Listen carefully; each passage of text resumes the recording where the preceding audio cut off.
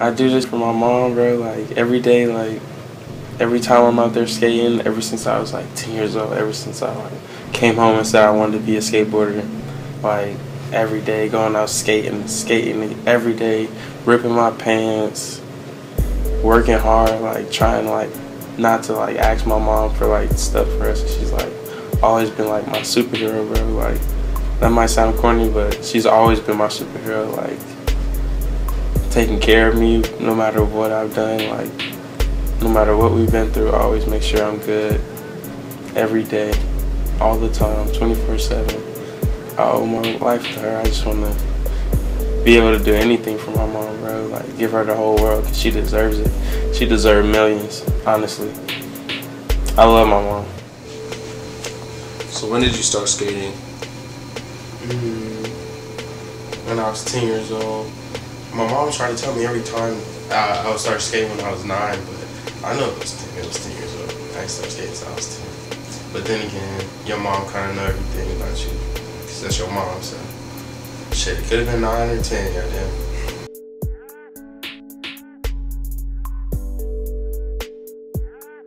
What influences your style of skating, or just your style in general? Skateboarding, watch watching skate videos, the videos I watched growing up as a kid, or like when I first started skating or whatever, and the videos I still continue to watch to this day. Uh, music definitely, because when you got that music, that music always just have that blood pumping and you just feeling it. Just skating to the music, you just feel it so hard. Music is definitely a big thing to my style.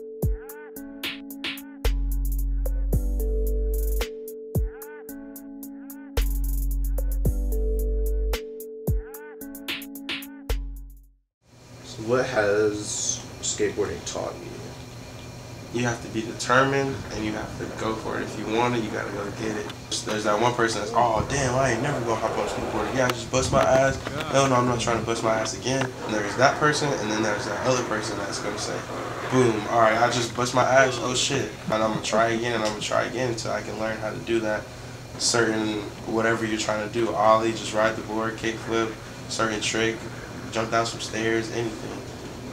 And I'm definitely gonna go with the second person overall all day because that's gonna be that's the person that's determined and ready to get it at the end of the day.